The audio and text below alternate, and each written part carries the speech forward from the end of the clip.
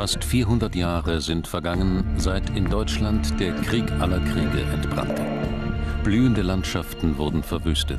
Millionen von Menschen starben durch Hunger, Pest und rohe Gewalt. Es war eine der größten Katastrophen der europäischen Geschichte. An manchen Orten starben niemals zuvor und nie wieder danach so viele Menschen.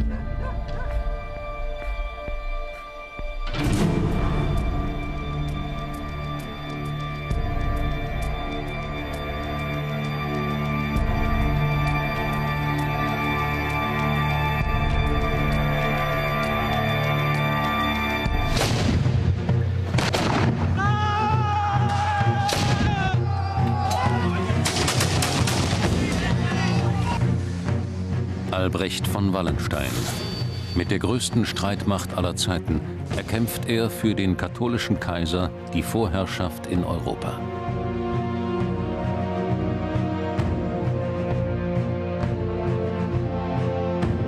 Doch seine Feinde verteufeln ihn als Gottlosen, der in seinem Machtwahn selbst nach der Krone strebt. Der Kaiser ist alarmiert und entlässt seinen Generalissimus. In der Stunde seiner Niederlage betritt Schwedenkönig Gustav Adolf die Bühne des Krieges. Der protestantische Wikinger erobert Deutschland mit triumphalen Siegen. Nur einer kann ihm Paroli bieten. Wallenstein. Der Kaiser holt seinen Generalissimus zurück. Wer wird siegen im Kampf der Giganten?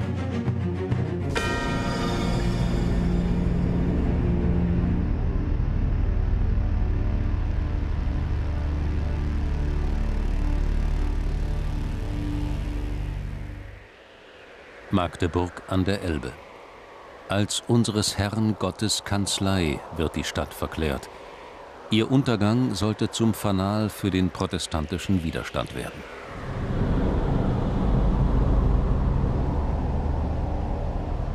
Der katholische Kaiser will die feste Burg mit aller Macht bezwingen. Nach der Entlassung Wallensteins ziehen seine Truppen unter dem Befehl des großen Feldherrn Tilly vor die Stadt. Es ist der Beginn einer monatelangen Belagerung. 32.000 Söldner verschanzen sich rund um Magdeburg. Etwas Böses und Finsteres sollten sie hier entfesseln, das stärker als der menschliche Wille war. So ein schwedischer Historiker.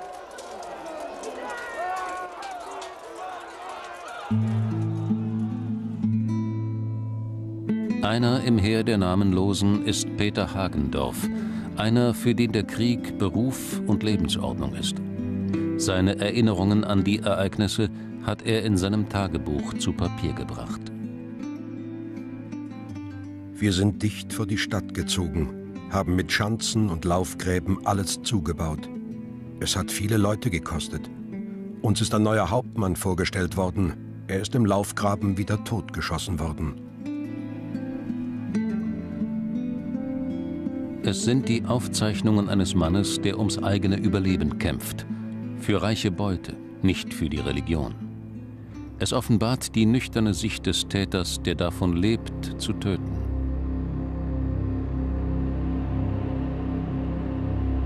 Tag und Nacht werden Schanzen und Laufgräben gebaut. Die Söldner graben sich Kilometer um Kilometer an die befestigte Stadt heran. In den Gräben schützen sie sich durch schwere, mit Steinen gefüllte Körbe vor dem gegnerischen Kugelhagel.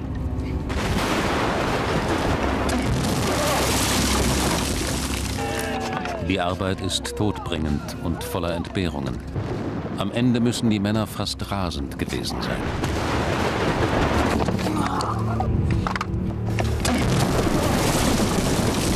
Menschenleben zählen nichts bei den gefährlichen Unternehmen. Um jeden Preis will Tilly den Widerstand der Magdeburger brechen.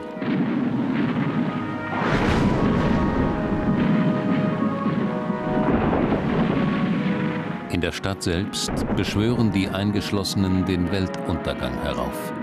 Viele Gläubige sehen in der drohenden Eroberung, herbeigeführt durch den katholischen Antichrist, eine strafende Heimsuchung Gottes. Wenige Wochen vor der Zerstörung wird die Predigt im Dom dem Untergang der heiligen Stadt Jerusalem gewidmet, als warnendes Beispiel für das magdeburgische Israel.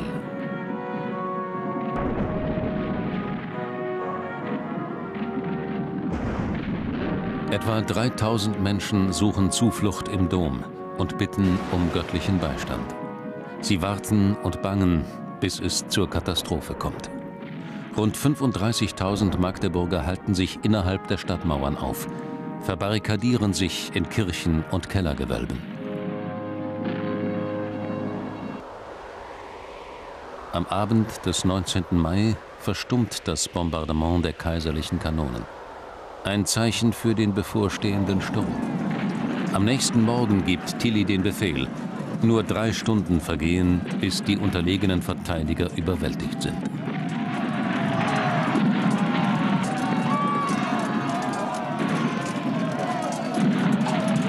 Wie brachte man die Männer dazu, dieses lebensbedrohliche Wagnis einzugehen?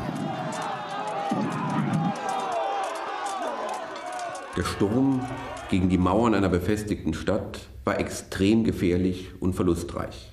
Deswegen versprach man den Söldnern häufig einen zusätzlichen Sturmsold als materielle Vergünstigung, damit sie den Sturm einmal, zweimal oder auch dreimal wagten. Doch blieb der Sturmsold häufig aus und stattdessen erklärte man den Soldaten die eroberte Stadt äh, als Beute.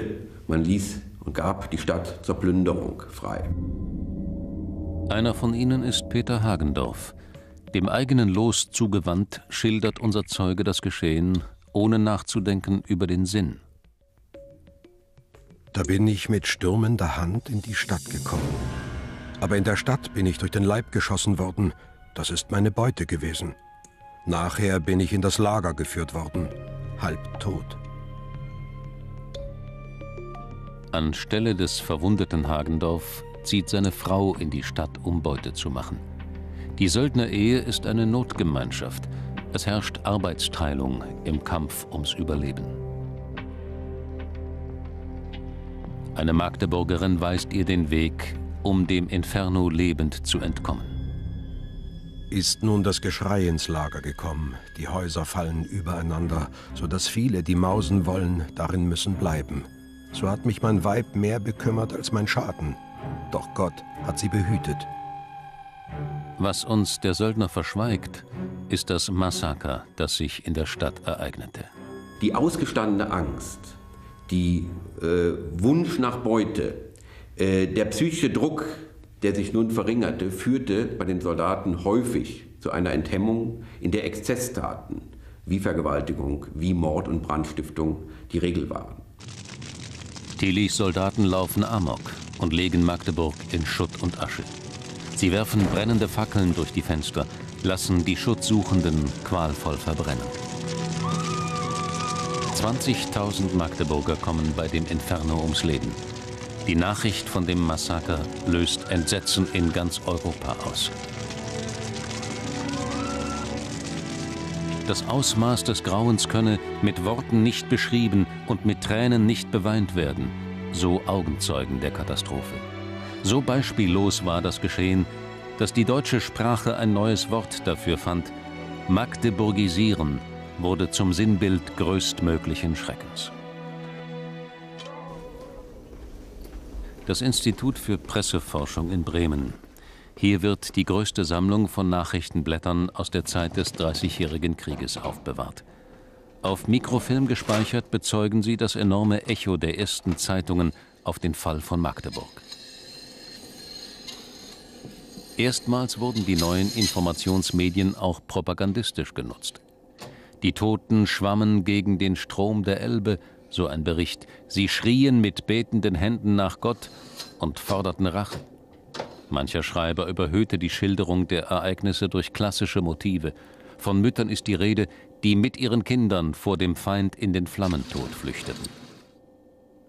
General Tilly raubte der keuschen Magd die Jungfernschaft, ein Sinnbild, das selbst im entlegensten Flecken in aller Munde war. Er habe ein entsprechend gedrückt Werk zu Gesicht bekommen, berichtet ein Dietmarscher Bauer.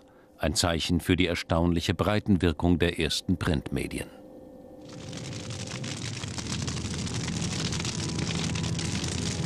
Was schuf diese teuflische Energie, die das Rad der Gewalt immer weiter antrieb, bis es zu solchen Exzessen kam?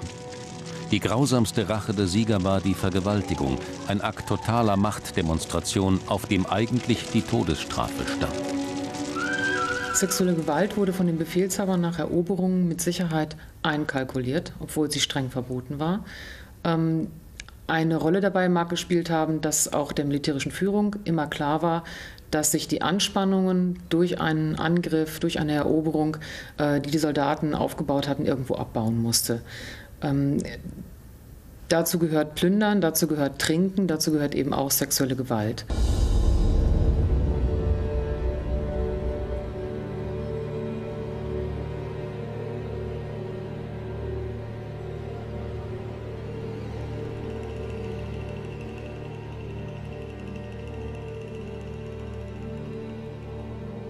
Die Täter bleiben ungestraft, doch ihre Verbrechen erschüttern die Welt und beschwören den Ruf nach Vergeltung herauf. Als Rächer für die geschändete Jungfrau Magdeburg tritt Schwedenkönig Gustav Adolf auf den Plan. Ein Retter aus dem Norden werde kommen, um den Kaiser zu besiegen, so eine Prophezeiung. Die Propaganda verherrlicht ihn als Löwen aus Mitternacht. Mit seinem Schwert tritt er dem Drachen entgegen, dem Ungeheuer des Katholizismus. Ein ganzer Stab soll hinter der Image-Kampagne des Königs gestanden haben. Sie macht ihn zum ersten Superstar der Mediengeschichte. Sie empfangen ihn wie den Messias, soll der entlassene Wallenstein über die Ankunft des Königs gesagt haben. Wer war dieser protestantische Glaubenskämpfer aus dem Norden? In der Leibrüstkammer im Schloss von Stockholm ist die Erinnerung an den König bis heute lebendig. Nur ausnahmsweise dürfen Scheinwerfer ihr Licht auf die empfindlichen Exponate richten. In dieser prächtigen Rüstung kämpfte der Herrscher auf Ritterturnieren. Er war ein Mann, der sich grandios zu inszenieren wusste.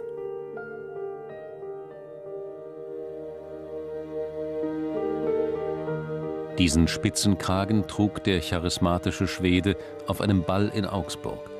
Er soll so temperamentvoll mit einer Bürgerstochter getanzt haben, dass sie ihm die kostbare Bordüre zerriss.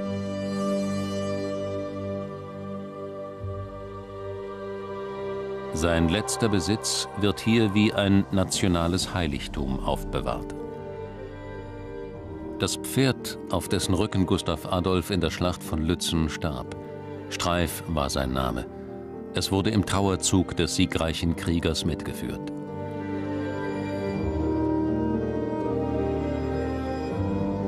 Diese blutbefleckten Tücher und Hemden zählen zu den ältesten Textilien der Welt, die vom Tod eines Königs erzählen.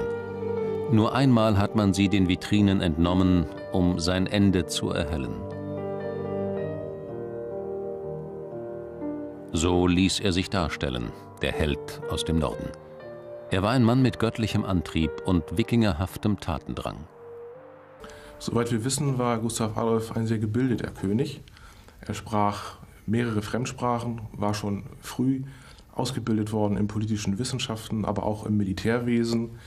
Ähm, seine persönliche Art war, so wird gesagt, sehr offen, sehr warmherzig, auch insgesamt sehr charismatisch aber wohl auch ähm, sehr heißblütig, dass er manchmal ein bisschen gestoppt werden musste in seinem Tun.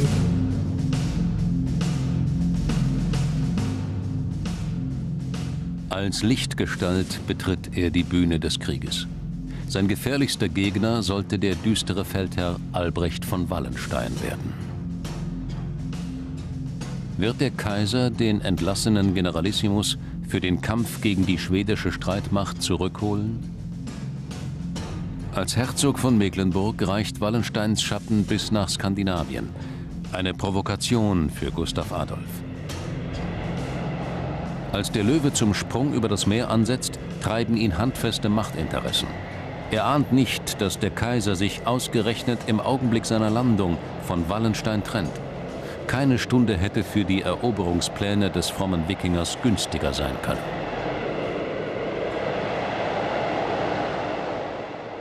Dieses Wrack aus der schwedischen Kriegsflotte wurde 1961 im Hafen von Stockholm geborgen.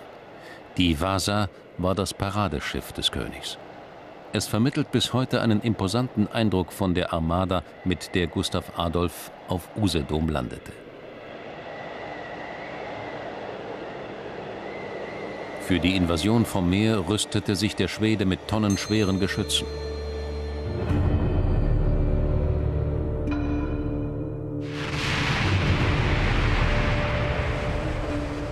Nach seiner Landung auf Usedom sucht Gustav Adolf zunächst Verbündete im protestantischen Norden.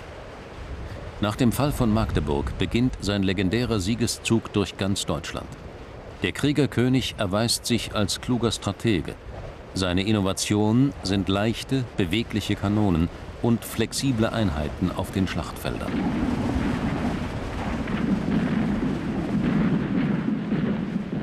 Bei Breitenfeld erringt er den ersten Sieg über die kaiserlich-katholische Armee.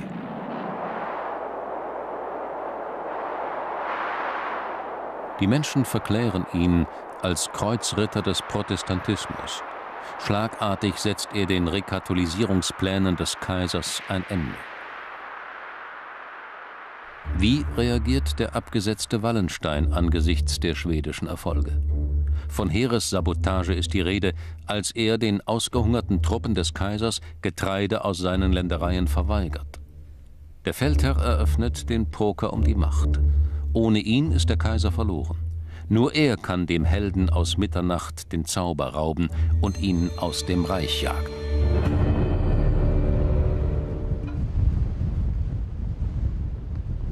In Augsburg statuierte der Kaiser ein Exempel gewaltsamer Rekatholisierung. Nun sollte die Stadt zum Symbol für die Befreiung durch Gustav Adolf werden. Auf dem Marktplatz lagern seine Soldaten unter freiem Himmel. Die Menschen grüßen sie als Engel und Erlöser. Mit heller Stimme singen die Männer Psalmen. Ihren heldenhaften König feiern sie als Vollstrecker eines göttlichen Plans. Die Stadt des Religionsfriedens hat einen neuen Heiligen. Die befreiten Glaubensbrüder feiern den Schwedenkönig als zweiten Martin Luther.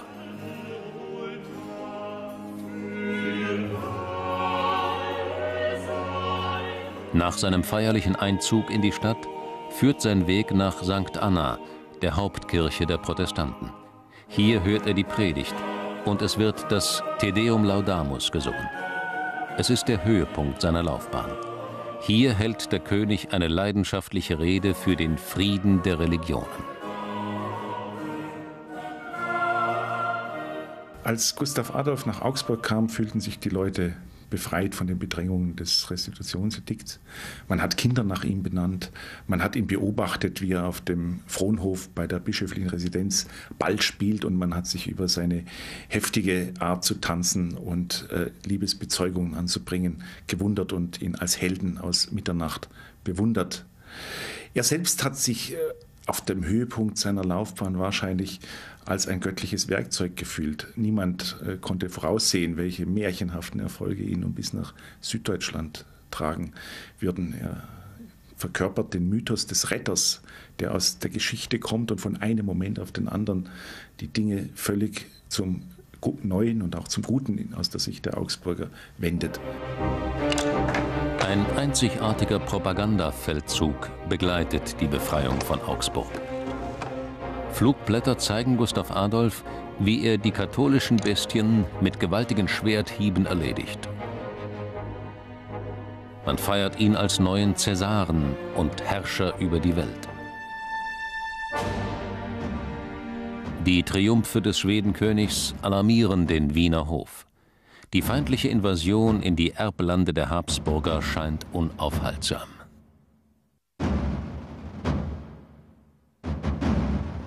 Ferdinand II. sieht nur einen Ausweg, um seinen Thron und die Monarchie zu retten. Nur einer kann dem Schweden Paroli bieten. Wallenstein. Der machtsüchtige Feldherr weiß die Not des Kaisers zu nutzen. Er will die Grenzen des Militärischen sprengen und selbst zum Staatsmann aufsteigen. Wallenstein fordert die alleinige Entscheidungsgewalt über Krieg und Frieden. Gustav Adolf erobert eine Stadt nach der anderen. Wird dem Kriegerkönig der Durchmarsch bis nach Wien gelingen? Ganz Bayern will er der protestantischen Machtsphäre einverleiben oder es ruinieren.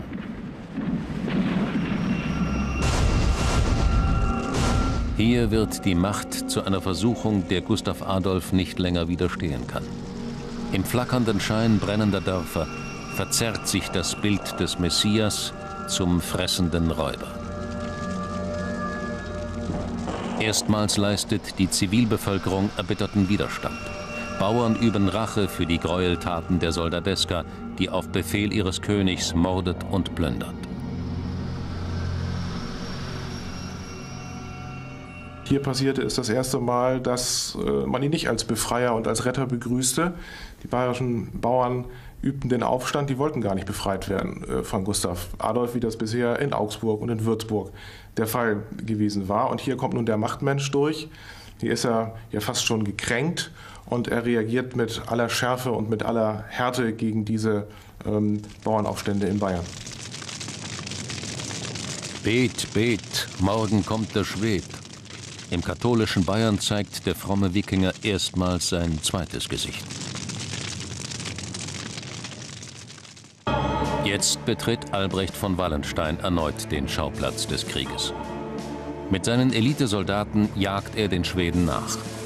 Was nun folgte, sollte als Kampf der Giganten in die Geschichte eingehen.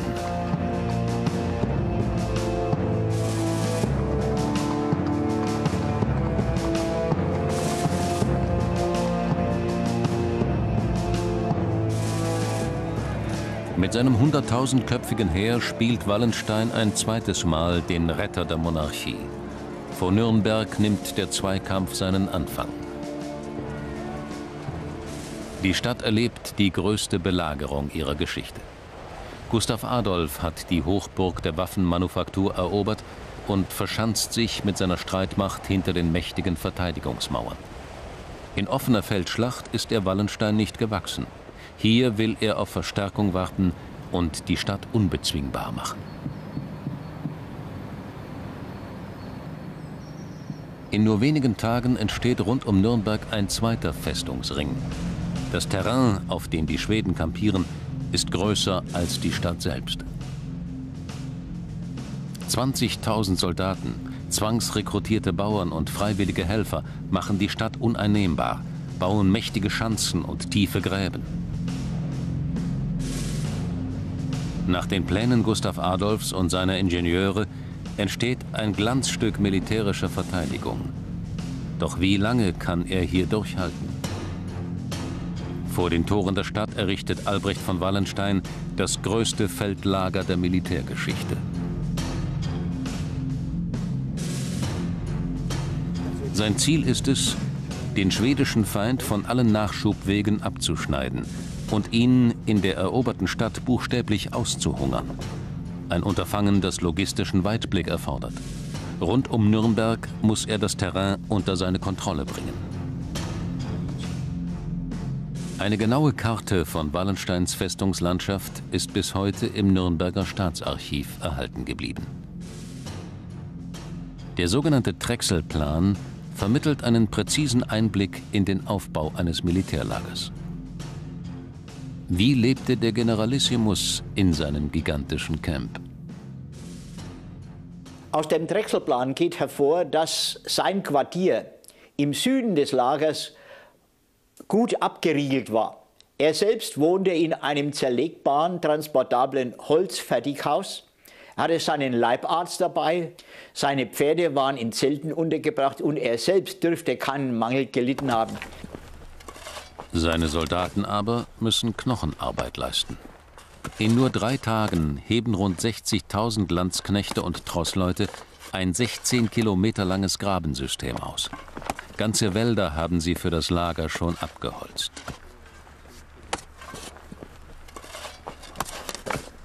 Männer, Frauen und Kinder schütten Erdwälle auf, bauen Hütten und Schanzen. Teils mit bloßen Händen und in Schürzen bewegen sie 64.000 Kubikmeter Erdreich, eine Fuhrleistung von 21.000 Lastwagen.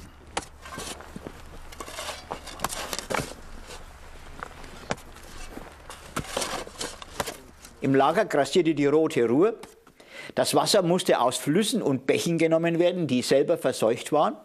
Und als die Nürnberger Plünderer nach dem Abzug der Armee Wallensteins nach 70 Tagen ins Lager kamen, schlug ihnen ein pestilenzartiger Gestank entgegen.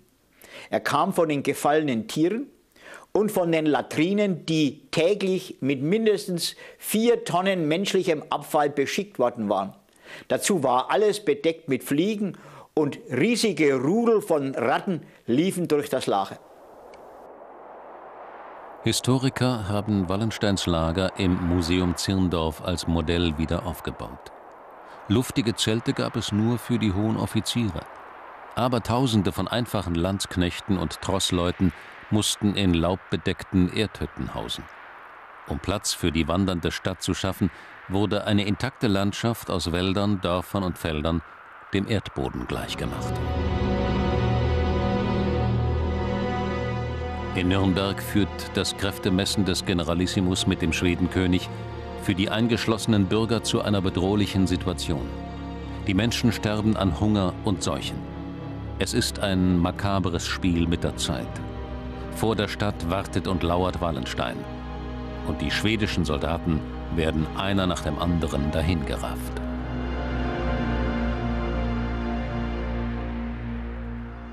Und da kampierten nun 70 bis 100.000 Menschen hinter den Schanzen in unvorstellbaren Zuständen. So starben die Menschen dahin wie die Fliegen, vor allem die Kinder.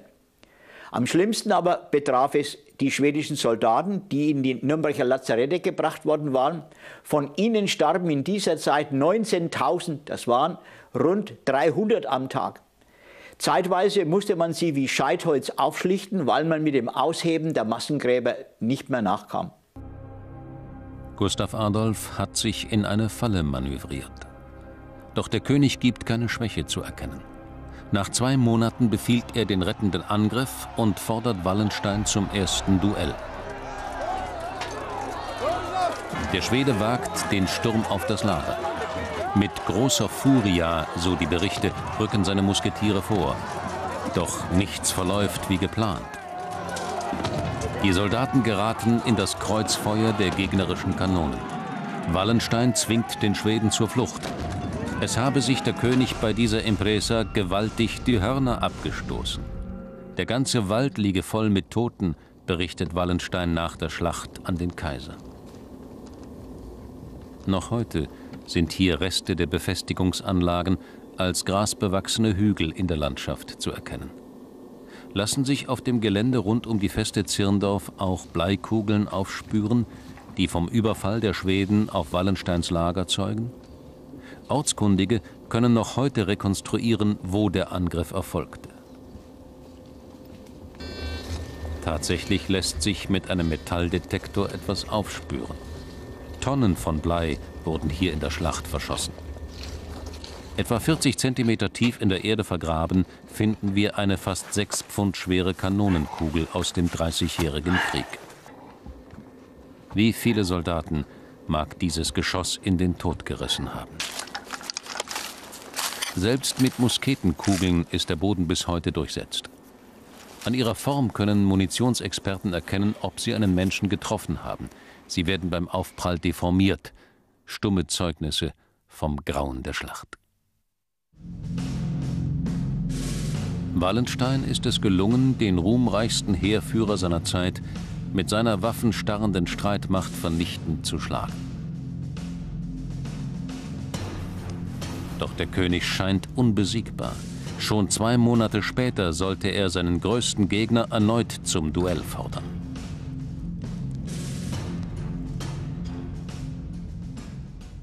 Folgen wir zunächst dem Weg der einfachen Landsknechte, von denen viele in dieser Zeit die Fahnen wechseln und wie der Söllner Hagendorf in schwedische Gefangenschaft geraten. Seit zehn Jahren kämpft er im Dreißigjährigen Krieg. Vier Kinder hat seine Frau ihm auf den Feldzügen geboren und alle hat er in dem Elend wieder verloren. Nur die nummerierten Kreuze in seinem Tagebuch erinnern an das Sterben. Wie ein Buchhalter notiert er sein Leben. Über das, was er fühlt, spricht er nicht.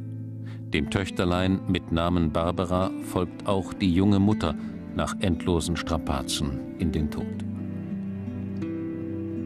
Gott verleihe ihr samt den Kindern eine fröhliche Auferstehung. Amen. In dem ewigen seligen Leben wollen wir einander wiedersehen. Im bayerischen Pappenheim gehörte der Söldner zur Besatzung der Burg. Hier begeben wir uns auf die Suche nach den Spuren seines Lebens und seiner Identität. Hier ist mein Weib einer jungen Tochter genesen. Gott verleihe ihr ein langes Leben. Ihr Name ist gewesen Margareta. Im historischen Stadtkern liegt das evangelisch-lutherische Pfarramt – das bis heute Kirchenbücher aus dem Dreißigjährigen Krieg beherbergt. Ein Ahnenforscher aus Pappenheim zeigt uns die mehr als 350 Jahre alten Taufbücher. Es grenzt an ein Wunder, dass sie in den Wirren des Krieges erhalten blieben. Der Söldner nennt als Geburtsdatum seiner Tochter den 3. November 1645. In den ellenlangen Taufregistern lassen wir prüfen, ob für diesen Tag die Geburt eines Mädchens namens Margreta verzeichnet ist. Tatsächlich wird er fündig. Zwar lautet der Name Anna Margret, doch als Kindesmutter wird eine gewisse Anna Maria Buchlerin genannt, die zweite Frau unseres Söldners.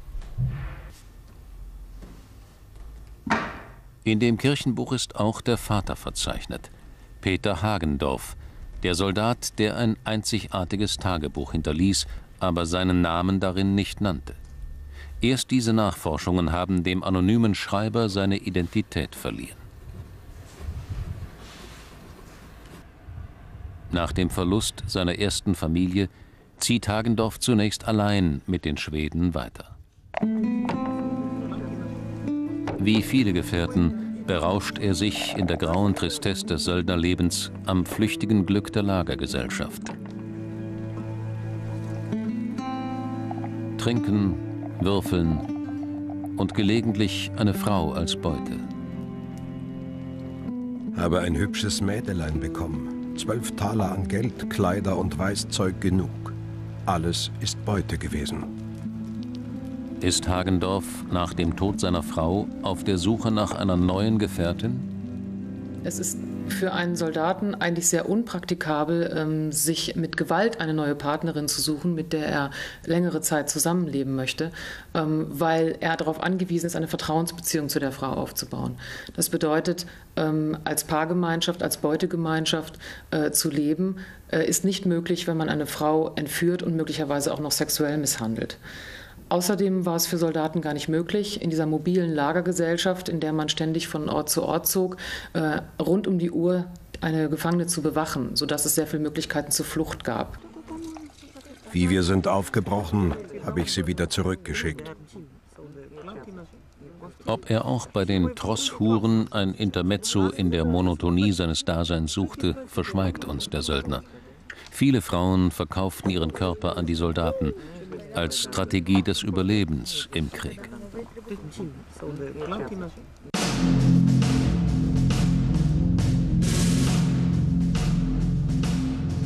Nur zwei Monate nach der Niederlage von Nürnberg scheint Gustav Adolf stärker als zuvor. Er weiß, dass Wallenstein ihm jetzt zahlenmäßig unterlegen ist, will ihn in offener Feldschlacht in die Knie zwingen. Es ist ihm gelungen, seine versprengten Truppen zusammenzuführen und neue Soldaten zu rekrutieren. Eigentlich ist der Winter für den Krieg tabu, doch der König hält sich nicht an ungeschriebene Gesetze. Keinen Fußbreit werde er weichen und lieber krepieren, verkündet der Generalissimus, als auf dem Schlachtfeld von Lützen der Kampf der Giganten anbricht.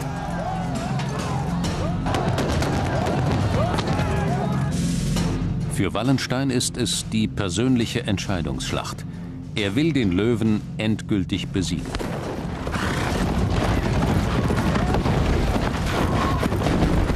Das Duell nimmt ein jähes Ende. Mitten im Gefecht gerät Gustav Adolf in eine Schwadron kaiserlicher Reiter. Er wird von Schüssen getroffen, kann sein Pferd nicht mehr führen. Einer von Wallensteins Männern soll die Todeskugel abgefeuert haben. Es ist das tragische Ende eines Königs, der als Glaubensführer selbst mit in den Kampf zog.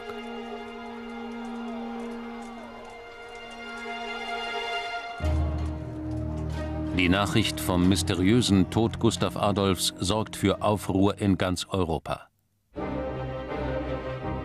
In den Zeitungen überschlagen sich die Meldungen. Es ist nach Magdeburg das größte Medienereignis des Dreißigjährigen Krieges. Die protestantische Seite versucht, den König publizistisch am Leben zu erhalten. Ihre königliche Majestät sei wohlauf, heißt es in einem Bericht, und nur in den linken Arm geschossen worden.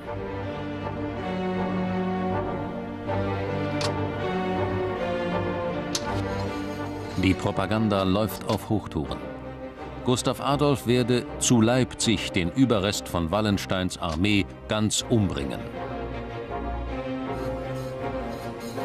Gleichzeitig kursieren Gerüchte über ein Attentat. Wer waren die Drahtzieher? Fast 400 Jahre danach suchen wir in Stockholm nach den Hintergründen der Tat. In der Leibrüstkammer im königlichen Schloss beginnt die Recherche. Einen Tag lang dürfen wir hier filmen, wie vor 20 Jahren der berühmte Wissenschaftsfotograf Lennart Nilsson, der den Todesfall untersuchte. Die Beweisstücke für den gewaltsamen Tod des Königs werden hier wie heilige Reliquien aufbewahrt. Den ledernen Harnisch überbrachte man nach der Schlacht dem Kaiser als Beute. Erst 1920 gelangte er zurück nach Schweden.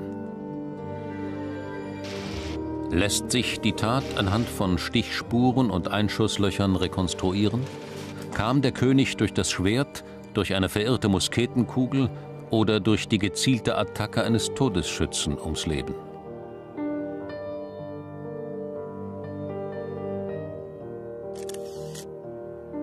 Der Schuss, der den König tötete. Er traf ihn von hinten, so ein Augenzeugenbericht, ging durch das Elchhautkoller und durchlöcherte das Zwerchfell in Höhe der dritten Rippe. Wie könnte sich nachweisen lassen, ob das Einschussloch von einer Musketenkugel stammte, die den König zufällig aus weiter Ferne traf, oder von einer Reiterpistole, die aus nächster Nähe abgefeuert wurde?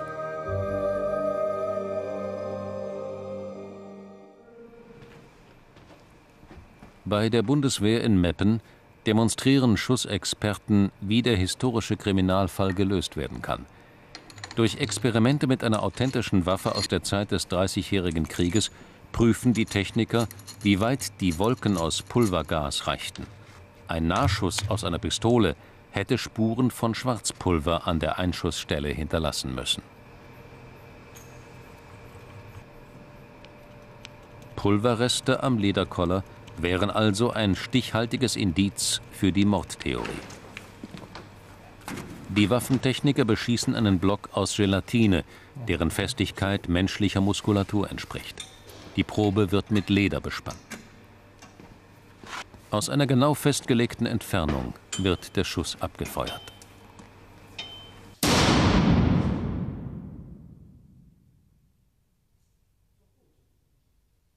Die Einschussstelle soll im Labor untersucht und die chemische Zusammensetzung nachweisbarer Partikel analysiert werden. Jede weitere Verunreinigung müssen die Forscher peinlichst vermeiden.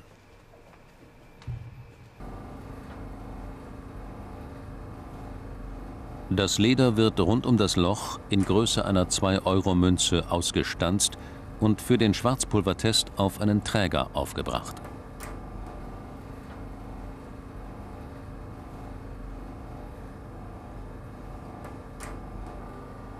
Im Rasterelektronenmikroskop erzeugen die Wissenschaftler ein Bild der Probe.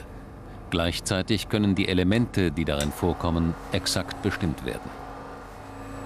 Schwarzpulver enthält Kalium und Schwefel im Verhältnis 2 zu 1. Danach wird hier gefahndet. Für die Wissenschaftler war dies der spannendste Moment, als sie das echte Koller untersuchten.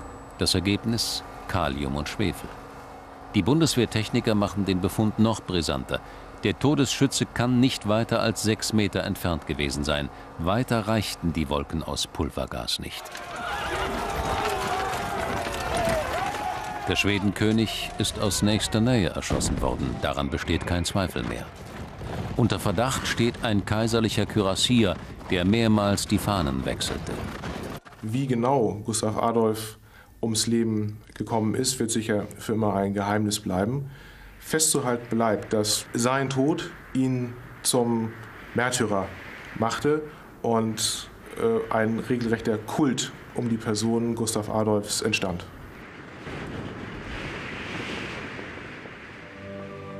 Wallenstein steht nach dem Ende seines größten Gegners im Zenit seiner Macht. Doch schon bald muss er erkennen, dass der Krieg mit militärischen Mitteln nicht zu beenden ist. Für den Feldherrn ist mit dem Ableben des Schwedenkönigs nichts gewonnen. Die Propaganda wirkt über seinen Tod hinaus. Mit Durchhalteparolen ruft die schwedische Seite zur Rache für ihren Helden auf. Unter neuem Kommando gehen die Kämpfe weiter. Lauter Glück und lauter Sieg folget ihm und seinem Krieg. Mit diesem Schlachtruf erinnert die protestantische Seite an die göttliche Mission des Königs. Hätte er nicht in den Krieg eingegriffen, wäre der Protestantismus in Deutschland vielleicht ausgelöscht worden. Nach der Schlacht von Lützen wagt Albrecht von Wallenstein die offene Kraftprobe mit Wien. Will der Feldherr auf dem Gipfel der Macht den Kaiser stürzen? Hat er es selbst auf die Krone abgesehen? Ferdinand bezichtigt Wallenstein des Hochverrats und fällt das Todesurteil gegen den Retter der Monarchie. Wissenschaftler enthüllen das Ende des Generalissimus. Was geschah in der Mordnacht von Eger?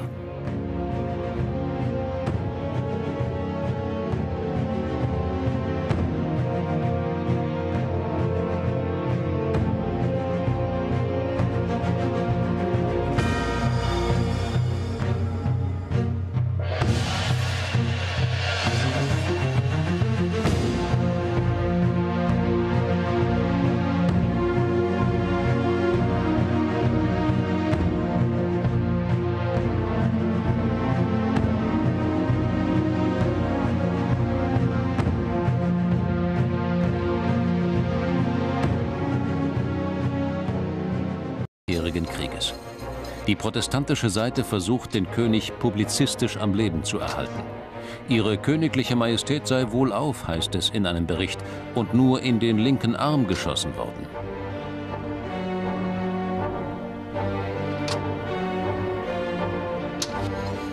Die Propaganda läuft auf Hochtouren. Gustav Adolf werde zu Leipzig den Überrest von Wallensteins Armee ganz umbringen. Gleichzeitig kursieren Gerüchte über ein Attentat. Wer waren die Drahtzieher? Fast 400 Jahre danach suchen wir in Stockholm nach den Hintergründen der Tat. In der Leibrüstkammer im königlichen Schloss beginnt die Recherche. Einen Tag lang dürfen wir hier filmen, wie vor 20 Jahren der berühmte Wissenschaftsfotograf Lennart Nilsson, der den Todesfall untersuchte.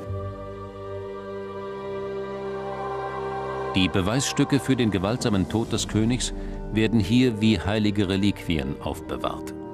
Den ledernen Harnisch überbrachte man nach der Schlacht dem Kaiser als Beute. Erst 1920 gelangte er zurück nach Schweden. Lässt sich die Tat anhand von Stichspuren und Einschusslöchern rekonstruieren? Kam der König durch das Schwert, durch eine verirrte Musketenkugel oder durch die gezielte Attacke eines Todesschützen ums Leben.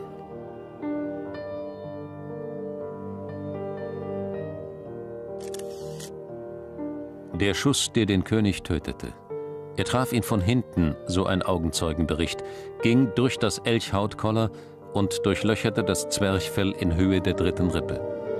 Wie könnte sich nachweisen lassen, ob das Einschussloch von einer Musketenkugel stammte, die den König zufällig aus weiter Ferne traf? Oder von einer Reiterpistole, die aus nächster Nähe abgefeuert wurde.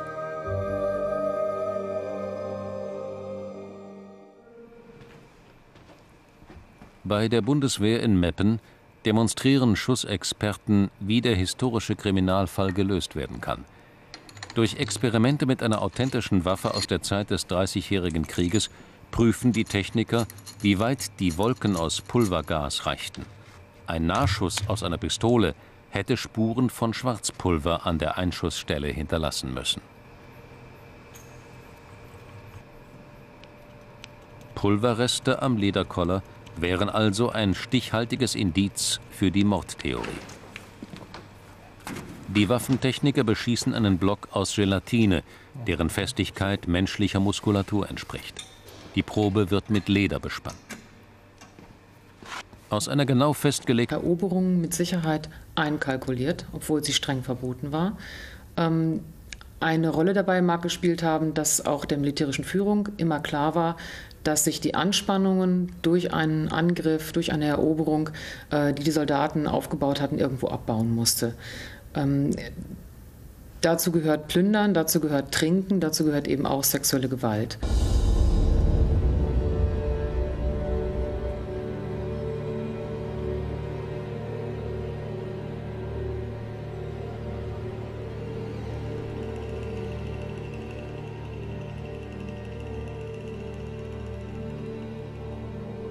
Die Täter bleiben ungestraft, doch ihre Verbrechen erschüttern die Welt und beschwören den Ruf nach Vergeltung herauf. Als Rächer für die geschändete Jungfrau Magdeburg tritt Schwedenkönig Gustav Adolf auf den Plan. Ein Retter aus dem Norden werde kommen, um den Kaiser zu besiegen, so eine Prophezeiung. Die Propaganda verherrlicht ihn als Löwen aus Mitternacht. Mit seinem Schwert tritt er dem Drachen entgegen, dem Ungeheuer des Katholizismus. Ein ganzer Stab soll hinter der Image-Kampagne des Königs gestanden haben. Sie macht ihn zum ersten Superstar der Mediengeschichte. Sie empfangen ihn wie den Messias, soll der entlassene Wallenstein über die Ankunft des Königs gesagt haben. Wer war dieser protestantische Glaubenskämpfer aus dem Norden? In der Leibrüstkammer im Schloss von Stockholm ist die Erinnerung an den König bis heute lebendig. Nur ausnahmsweise dürfen Scheinwerfer ihr Licht auf die empfindlichen Exponate richten. In dieser prächtigen Rüstung kämpfte der Herrscher auf Ritterturnieren. Er war ein Mann, der sich grandios zu inszenieren wusste.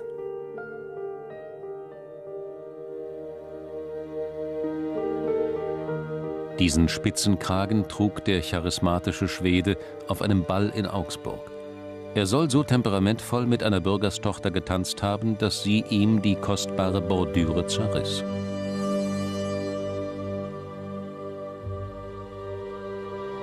Sein letzter Besitz wird hier wie ein nationales Heiligtum aufbewahrt. Das Pferd, auf dessen Rücken Gustav Adolf in der Schlacht von Lützen starb, Streif war sein Name. Es wurde im Trauerzug des siegreichen Kriegers mitgeführt.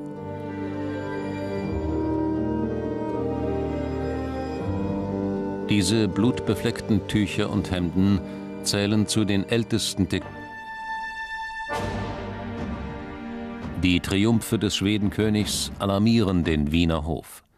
Die feindliche Invasion in die Erblande der Habsburger scheint unaufhaltsam.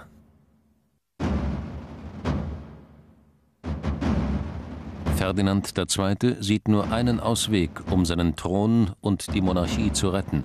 Nur einer kann dem Schweden Paroli bieten. Wallenstein. Der machtsüchtige Feldherr weiß die Not des Kaisers zu nutzen. Er will die Grenzen des Militärischen sprengen und selbst zum Staatsmann aufsteigen. Wallenstein fordert die alleinige Entscheidungsgewalt über Krieg und Frieden. Gustav Adolf erobert eine Stadt nach der anderen. Wird dem Kriegerkönig der Durchmarsch bis nach Wien gelingen? Ganz Bayern will er der protestantischen Machtsphäre einverleiben oder es ruinieren.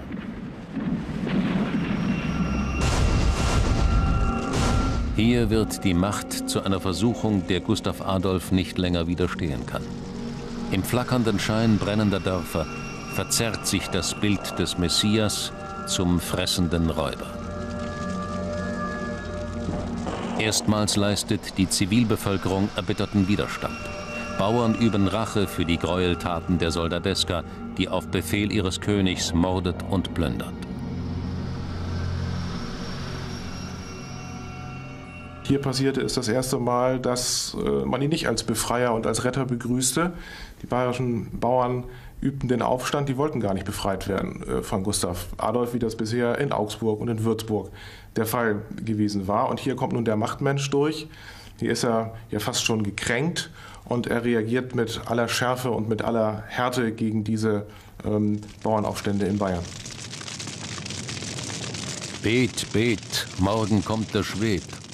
Im katholischen Bayern zeigt der fromme Wikinger erstmals sein zweites Gesicht.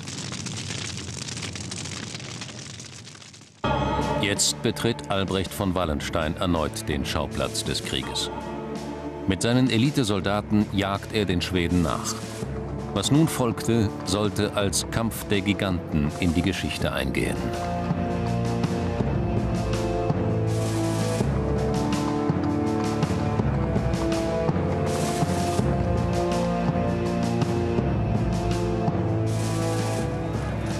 Seinem hunderttausendköpfigen Heer spielt Wallenstein ein zweites Mal den Retter der Monarchie. Vor Nürnberg nimmt der Zweikampf seinen Anfang. Die Stadt erlebt die größte Belagerung ihrer Geschichte. Gustav Adolf hat die Hochburg.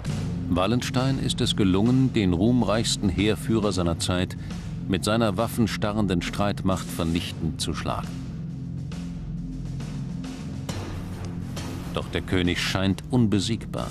Schon zwei Monate später sollte er seinen größten Gegner erneut zum Duell fordern.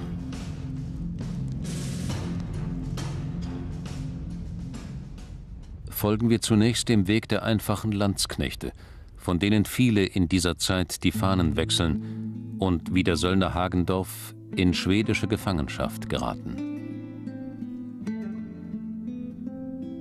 Seit zehn Jahren kämpft er im Dreißigjährigen Krieg. Vier Kinder hat seine Frau ihm auf den Feldzügen geboren und alle hat er in dem Elend wieder verloren. Nur die nummerierten Kreuze in seinem Tagebuch erinnern an das Sterben. Wie ein Buchhalter notiert er sein Leben. Über das, was er fühlt, spricht er nicht. Dem Töchterlein mit Namen Barbara folgt auch die junge Mutter nach endlosen Strapazen in den Tod. Gott verleihe ihr samt den Kindern eine fröhliche Auferstehung. Amen. In dem ewigen seligen Leben wollen wir einander wiedersehen. Im bayerischen Pappenheim gehörte der Söldner zur Besatzung der Burg. Hier begeben wir uns auf die Suche nach den Spuren seines Lebens und seiner Identität. Hier ist mein Weib einer jungen Tochter genesen. Gott verleihe ihr ein langes Leben. Ihr Name ist gewesen Margareta. Im historischen Stadtkern liegt das evangelisch-lutherische Pfarramt, das bis heute Kirchenbücher aus dem Dreißigjährigen Krieg beherbergt. Ein Ahnenforscher aus Pappenheim zeigt uns die mehr als 350 Jahre alten Taufbücher. Es grenzt an ein Wunder, dass sie in den Wirren des Krieges erhalten blieben. Der Söldner nennt als Geburtsdatum seiner Tochter den 3. November 1645. In den ellenlangen Taufregistern lassen wir prüfen, ob für diesen Tag die Geburt eines Mädchens namens Margreta verzeichnet ist. Tatsächlich wird er fündig. Zwar lautet der Name Anna Margret, doch als Kindesmutter wird eine gewisse Anna Maria Buchlerin genannt, die zweite Frau unseres Söldners. In dem Kirchenbuch ist auch der Vater verzeichnet, Peter Hagendorf, der Soldat, der ein einzigartiges Tagebuch hinterließ, aber seinen Namen darin nicht nannte. Erst diese Nachforschungen haben dem anonymen Schreiber seine Idee. Rudel von Ratten liefen durch das Lager. Historiker haben Wallensteins Lager im Museum Zirndorf als Modell wieder aufgebaut. Luftige Zelte gab es nur für die hohen Offiziere. Aber Tausende von einfachen Landsknechten und Trossleuten mussten in laubbedeckten Erdhütten hausen. Um Platz für die wandernde Stadt zu schaffen, wurde eine intakte Landschaft aus Wäldern, Dörfern und Feldern dem Erdboden gleichgemacht. In Nürnberg führt das Kräftemessen des Generalissimus mit dem Schwedenkönig für die eingeschlossenen Bürger zu einer bedrohlichen Situation. Die Menschen sterben an Hunger und Seuchen. Es ist ein makabres Spiel mit der Zeit. Vor der Stadt wartet und lauert Wallenstein. Und die schwedischen Soldaten werden einer nach dem anderen dahingerafft.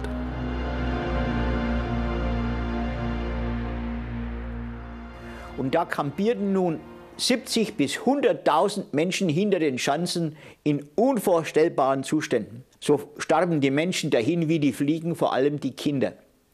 Am schlimmsten aber betraf es die schwedischen Soldaten, die in die Nürnberger Lazarette gebracht worden waren. Von ihnen starben in dieser Zeit 19.000, das waren rund 300 am Tag. Zeitweise musste man sie wie Scheitholz aufschlichten, weil man mit dem Ausheben der Massengräber nicht mehr nachkam. Gustav Adolf hat sich in eine Falle manövriert. Doch der König gibt keine Schwäche zu erkennen. Nach zwei Monaten befiehlt er den rettenden Angriff und fordert Wallenstein zum ersten Duell. Der Schwede wagt den Sturm auf das Lager. Mit großer Furia, so die Berichte, rücken seine Musketiere vor. Doch nichts verläuft wie geplant. Die Soldaten geraten in das Kreuzfeuer der gegnerischen Kanonen. Wallenstein zwingt den Schweden zur Flucht. Es habe sich der König bei dieser Impresa gewaltig die Hörner abgestoßen. Der ganze Wald liege voll mit Toten, berichtet Wallenstein nach der Schlacht an den Kaiser. Noch heute sind hier Reste der Befestigungsanlagen als grasbewachsene Hügel in der Landschaft zu erkennen. Lassen sich auf dem Gelände rund um die Feste Zirndorf auch Bleikugeln aufspüren, die vom Überfall der Schweden auf Wallensteins Lager zeugen? Ortskundige können noch heute rekonstruieren, wo der Angriff erfolgte. Tatsächlich lässt sich mit einem Metalldetektor etwas aufspüren. Tonnen von Blei wurden hier in der Schlacht verschossen. Etwa 40 Zentimeter tief in der Erde vergraben finden wir eine fast sechs Pfund schwere Kanonenkugel aus dem Dreißigjährigen Krieg. Die Arbeit ist todbringend und voller Entbehrungen. Am Ende müssen die Männer fast rasend gewesen sein.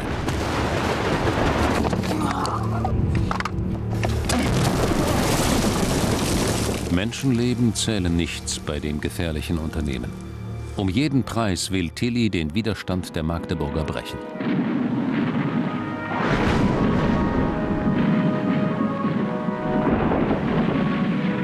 In der Stadt selbst beschwören die Eingeschlossenen den Weltuntergang herauf.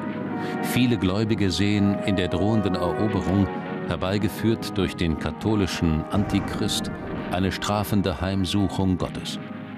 Wenige Wochen vor der Zerstörung wird die Predigt im Dom dem Untergang der heiligen Stadt Jerusalem gewidmet, als warnendes Beispiel für das magdeburgische Israel.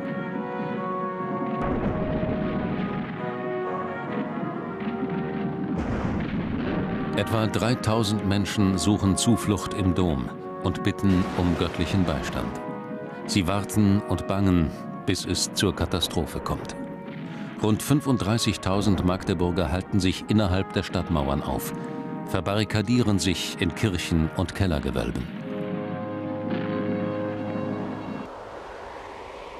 Am Abend des 19. Mai verstummt das Bombardement der kaiserlichen Kanonen.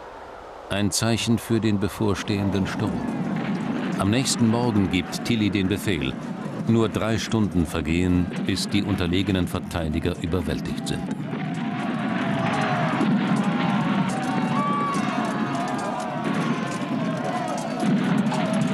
Wie brachte man die Männer dazu, dieses lebensbedrohliche Wagnis einzugehen? Der Sturm gegen die Mauern einer befestigten Stadt war extrem gefährlich und verlustreich. Deswegen versprach man den Söldnern häufig einen zusätzlichen Sturmsold als materielle Vergünstigung, damit sie den Sturm einmal, zweimal oder auch dreimal wagten. Doch blieb der Sturmsold häufig aus und stattdessen erklärte man den Soldaten die eroberte Stadt äh, als Beute. Man ließ und gab die Stadt zur Plünderung frei. Einer von ihnen ist Peter Hagendorf. Dem eigenen Los zugewandt schildert unser Zeuge das Geschehen, ohne nachzudenken über den Sinn. Da bin ich mit stürmender Hand in die Stadt gekommen. Aber in der Stadt bin ich durch den Leib geschossen worden. Das ist meine Beute gewesen.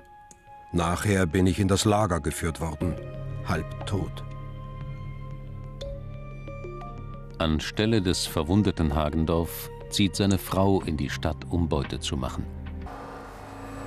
Schwarzpulver enthält Kalium und Schwefel im Verhältnis 2 zu 1. Danach wird hier gefahndet. Für die Wissenschaftler war dies der spannendste Moment, als sie das echte Koller untersuchten. Das Ergebnis Kalium und Schwefel. Die Bundeswehrtechniker machen den Befund noch brisanter. Der Todesschütze kann nicht weiter als sechs Meter entfernt gewesen sein. Weiter reichten die Wolken aus Pulvergas nicht. Der Schwedenkönig ist aus nächster Nähe erschossen worden, daran besteht kein Zweifel mehr. Unter Verdacht steht ein kaiserlicher Kürassier, der mehrmals die Fahnen wechselte. Wie genau Gustav Adolf ums Leben gekommen ist, wird sicher für immer ein Geheimnis bleiben. Festzuhalten bleibt, dass sein Tod ihn zum Märtyrer machte und äh, ein regelrechter Kult um die Person Gustav Adolfs entstand.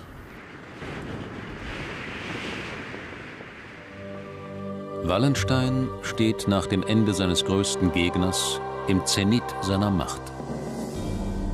Doch schon bald muss er erkennen, dass der Krieg mit militärischen Mitteln nicht zu beenden ist.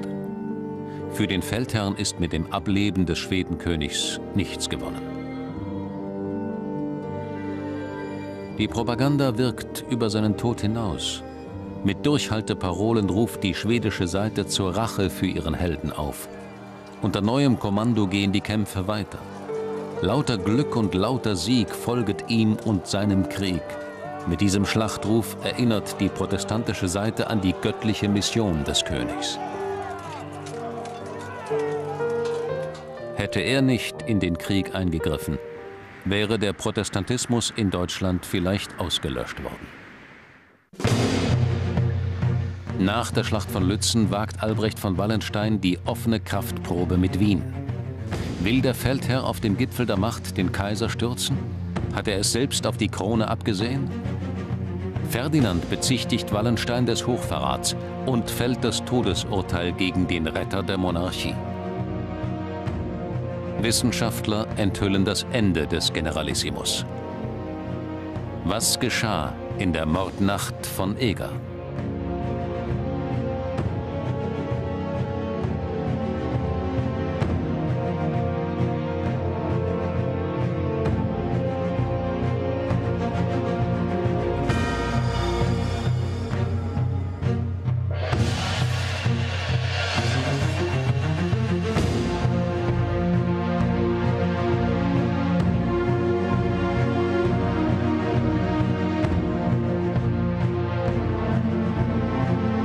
Holt seinen Generalissimus zurück. Wer wird siegen im Kampf der Giganten?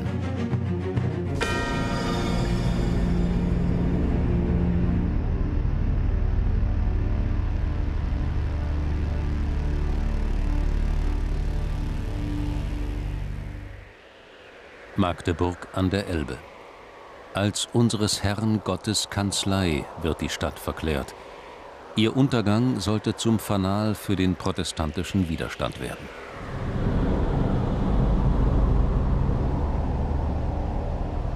Der katholische Kaiser will die feste Burg mit aller Macht bezwingen.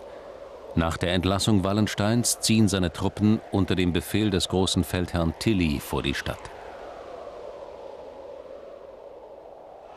Es ist der Beginn einer monatelangen Belagerung. 32.000 Söldner verschanzen sich rund um Magdeburg. Etwas Böses und Finsteres sollten sie hier entfesseln, das stärker als der menschliche Wille war, so ein schwedischer Historiker.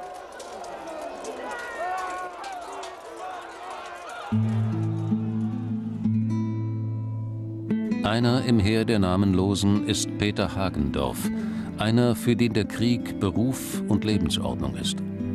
Seine Erinnerungen an die Ereignisse hat er in seinem Tagebuch zu Papier gebracht. Wir sind dicht vor die Stadt gezogen, haben mit Schanzen und Laufgräben alles zugebaut. Es hat viele Leute gekostet. Uns ist ein neuer Hauptmann vorgestellt worden. Er ist im Laufgraben wieder totgeschossen worden. Es sind die Aufzeichnungen eines Mannes, der ums eigene Überleben kämpft. Für reiche Beute, nicht für die Religion. Es offenbart die nüchterne Sicht des Täters, der davon lebt, zu töten.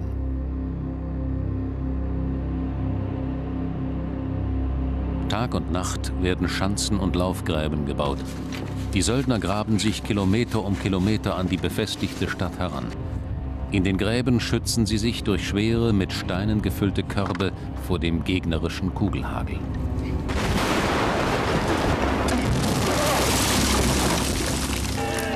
Die Arbeit ist todbringend und voller Entbehrungen. Am Ende müssen die Männer fast rasend gewesen sein.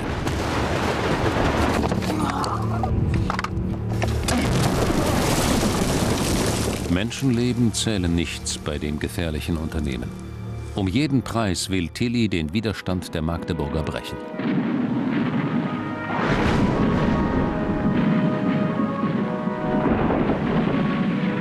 In der Stadt selbst beschwören die Eingeschlossenen den Weltuntergang herbei.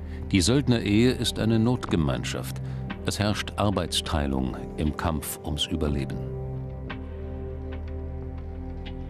Eine Magdeburgerin weist ihr den Weg, um dem Inferno lebend zu entkommen.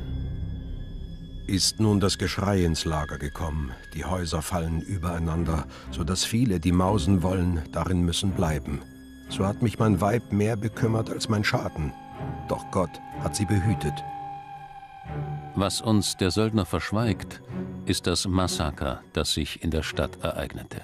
Die ausgestandene Angst, die äh, Wunsch nach Beute, äh, der psychische Druck, der sich nun verringerte, führte bei den Soldaten häufig zu einer Enthemmung, in der Exzesstaten wie Vergewaltigung, wie Mord und Brandstiftung die Regel waren. Tillys Soldaten laufen amok und legen Magdeburg in Schutt und Asche. Sie werfen brennende Fackeln durch die Fenster, lassen die Schutzsuchenden qualvoll verbrennen. 20.000 Magdeburger kommen bei dem Inferno ums Leben. Die Nachricht von dem Massaker löst Entsetzen in ganz Europa aus. Das Ausmaß des Grauens könne mit Worten nicht beschrieben und mit Tränen nicht beweint werden, so Augenzeugen der Katastrophe. So beispiellos war das Geschehen, dass die deutsche Sprache ein neues Wort dafür fand, Magdeburgisieren wurde zum Sinnbild größtmöglichen Schreckens. Das Institut für Presseforschung in Bremen. Hier wird die größte Sammlung von Nachrichtenblättern aus der Zeit des Dreißigjährigen Krieges aufbewahrt. Auf Mikrofilm gespeichert bezeugen sie das enorme Echo der ersten Zeitungen auf den Fall von Magdeburg. Erstmals wurden die neuen Informationsmedien auch propagandistisch genutzt. Die Toten schwammen gegen den Strom der Elbe, so ein Bericht. Sie schrien mit betenden Händen nach Gott und forderten Rache. Mancher Schreiber überhöhte die Schilderung der Ereignisse durch klassische Motive. Von Müttern ist die Rede, die mit ihren Kindern vor dem Feind in den Flammentod flüchteten. General Tilly raubte der keuschen Magd die Jungfernschaft. Ein Sinnbild, das selbst im entlegensten Flecken in aller Munde war. Er habe ein entsprechend gedrückt Werk zu Gesicht bekommen, berichtet ein Dietmarscher Bauer. Ein Zeichen für die erstaunliche Breitenwirkung der ersten Printmedien.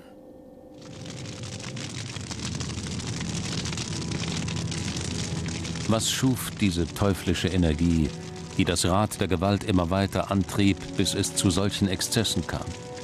Die grausamste Rache der Sieger war die Vergewaltigung, ein Akt totaler Machtdemonstration,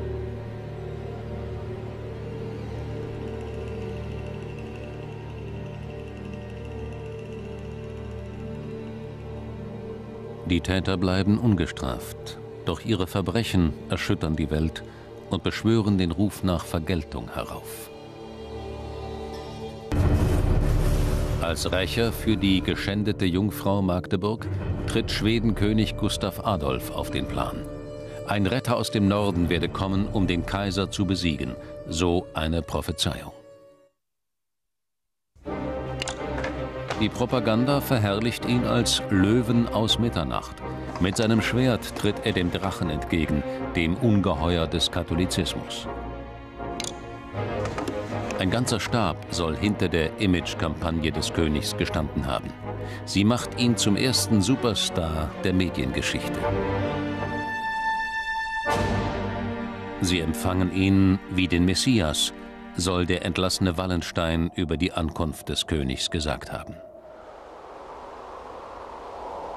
Wer war dieser protestantische Glaubenskämpfer aus dem Norden? In der Leibrüstkammer im Schloss von Stockholm ist die Erinnerung an den König bis heute lebendig. Nur ausnahmsweise dürfen Scheinwerfer ihr Licht auf die empfindlichen Exponate richten. In dieser prächtigen Rüstung kämpfte der Herrscher auf Ritterturnieren. Er war ein Mann, der sich grandios zu inszenieren wusste.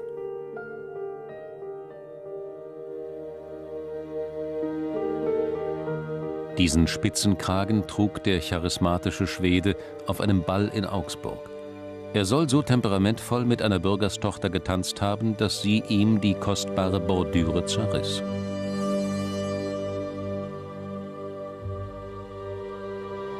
Sein letzter Besitz wird hier wie ein nationales Heiligtum aufbewahrt. Das Pferd, auf dessen Rücken Gustav Adolf in der Schlacht von Lützen starb, Streif war sein Name. Es wurde im Trauerzug des siegreichen Kriegers mitgeführt.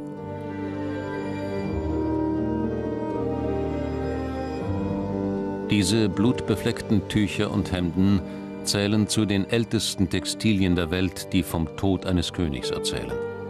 Nur einmal hat man sie den Vitrinen entnommen, um sein Ende zu erhellen.